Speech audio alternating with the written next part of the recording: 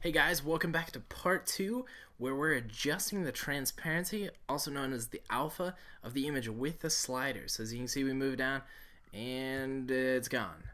So check out part one if you're if you jumped into part two and you found yourself a little bit lost. So now that we have our image on screen, our slider in there, we're gonna hook them up to um, our implementation and put the code behind it to actually make it do that. So we're going to open up our side-by-side -side editor and we are going to hook up the outlets and the action of the slider.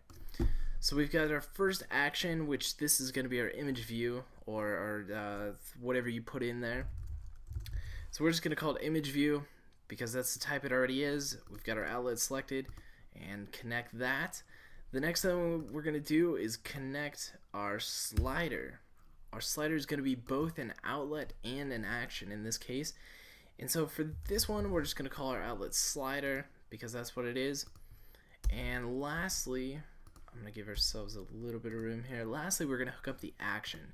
And the action is going to be the value of the slider that's going to tell our image how much transparency or alpha it's supposed to have. And so in this case, select your slider and we're going to do the same thing but uh, instead of inserting an outlet, we're going to change it to an action. And what should we label this? We'll just call it uh, image slider. That works. Okay, and just to take note, as far as the event here, um, make sure we're doing the value change because as the slider moves, that value is going to change and we're going to send a new action to wherever we distribute. In our case, we're going to be sending the new value to change the transparency of the image as it disappears or comes back to life, whatever you guys think there. So make sure it is a value change in that case and go ahead and click connect. Alright, so now that we've got our header file fully connected with our, uh, our storyboard or XIB, the main user, user face there, we're going to go into the implementation here. And you guys, you won't believe how easy this is. Now, I'm just going to go back to the single screen, the standalone editor. Since we hooked it up the easy way, obviously we've got our synthesizers, um, for outlets. If you go down, again, we've got the view did unload. It already filled in the two, the set image view and the set slider for us.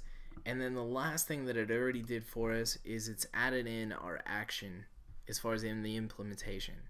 So now all we've got to do is just write the simple code that we're going to change the image view with our slider value.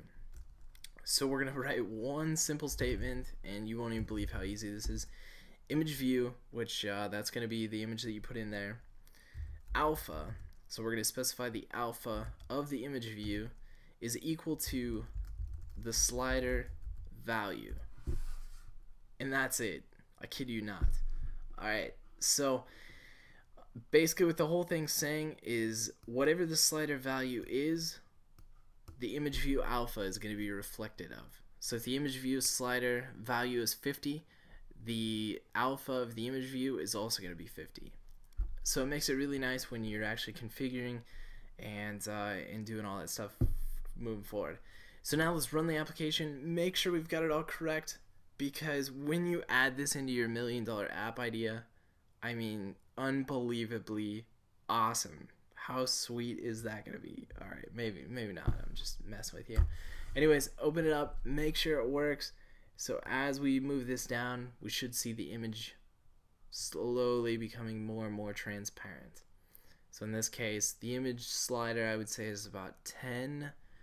So our image would be reflective at a 10% of its full of, of transparency.